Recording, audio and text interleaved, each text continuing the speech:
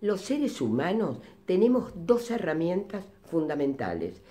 Una son las manos, que no se mueven solas, nosotros las dirigimos y ahí es una herramienta útil. Otra es la mente, es la más importante, pero a menudo es ella la que nos maneja a nosotros.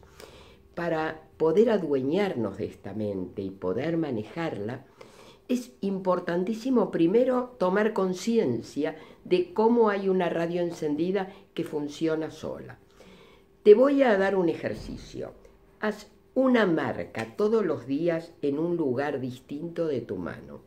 Y cada vez que la veas, piensa, date cuenta en qué estás pensando, qué estás sintiendo y cómo es la postura de tu cuerpo.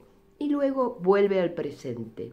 Este es un ejercicio perfecto para darse cuenta cómo la mente critica, compara, hace montones de funciones que son las que a menudo nos deprimen, nos angustian, eh, nos persiguen, nos hacen sentir mal, también es la que nos hacen sentir muy bien.